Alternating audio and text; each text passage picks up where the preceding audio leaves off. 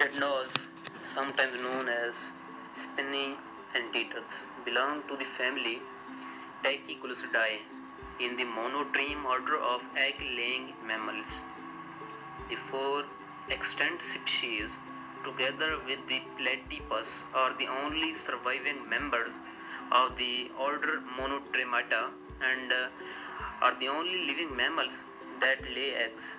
The diet of some species consists of ants, but they are not closely related to the true anteaters of the Americas. Echidnas live in Australia.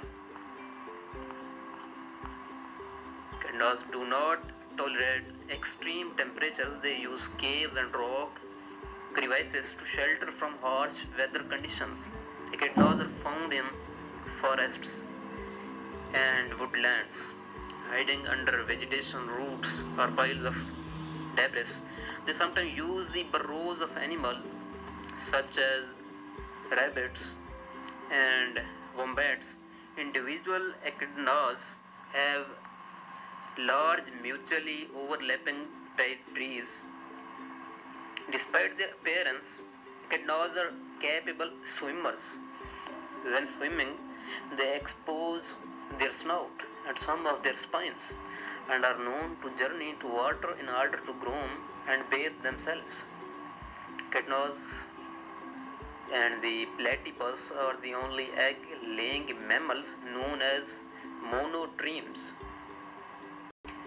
The average lifespan of an echidna in the wild is estimated around 14 to 16 years.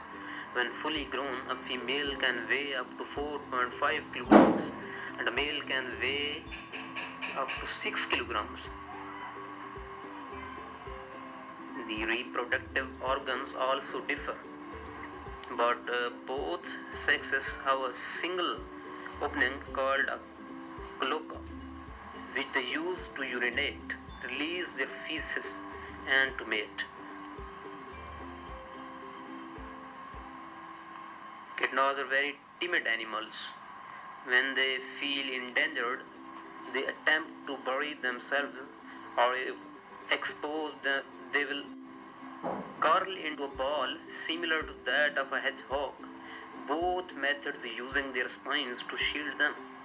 Strong front arms allow echidnas to continue to dig themselves while holding fast against a predator attempting to remove them from the hole. Although they have a way to protect themselves, the echidnas still face many dangers. Some predators include feral cats, foxes, domestic dogs, and goannas. Snakes pose a large threat to the echidna species because they slither into their burrows and prey on the young spineless puggles. Some precautions that can be taken include keeping the environment clean by picking up litter and causing less pollution, planting vegetation for echidnas to use as shelter, supervising pets, reporting herd, echidnas or just leaving them under undisturbed. Merely grabbing them may cause stress and picking them up improperly may even result in injury.